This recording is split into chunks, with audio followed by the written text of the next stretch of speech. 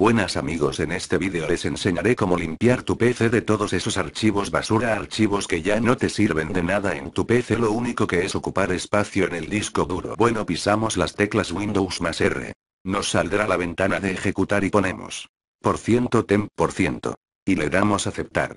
Se nos abrirá una ventana. Aquí como podrán ver nos salen muchos archivos. Que no utiliza nuestro sistema archivos basura. Los seleccionamos todos para eliminarlos,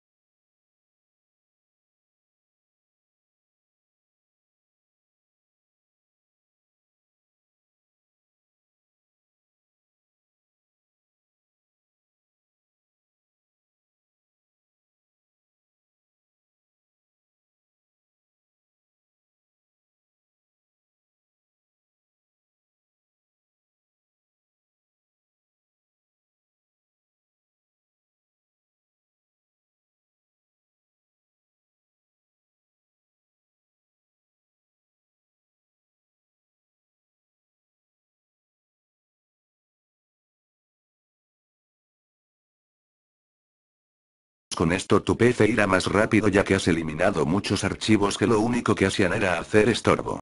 Bueno amigos espero les haya servido. Adiós.